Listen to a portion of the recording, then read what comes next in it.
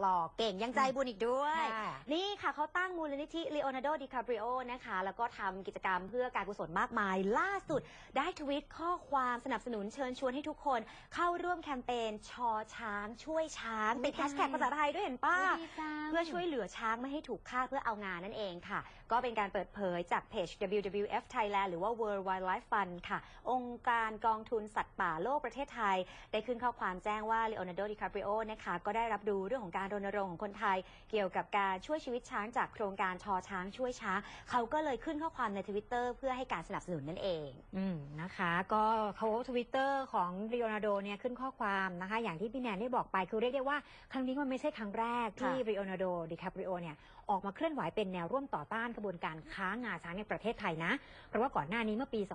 2556 r ี o อนา d o เนี่ยเคยแสดงพลังเรียกร้องเพื่อขอเปลี่ยนกฎหมายค้างาช้างในไทย ทั้งการนำเข้าแล้วก็ส่งออกต่ออดีตนายกรัฐมนตรีอ่านางสาวยิ่งรักษณ์ชินวัตรมาแล้วด้วยเนาะใช่นะคะก็ถือว่าเขาเองก็เป็นคนที่อยู่ไกลเราใช่แต่ว่าแต่ข้อความนี้จะทำให้เขาใกล้เรามากยิ่งขึ้น แล้วก็อืมช่วยกรณรงค์ให้เราช่วยเหลือชีวิตช้างมาก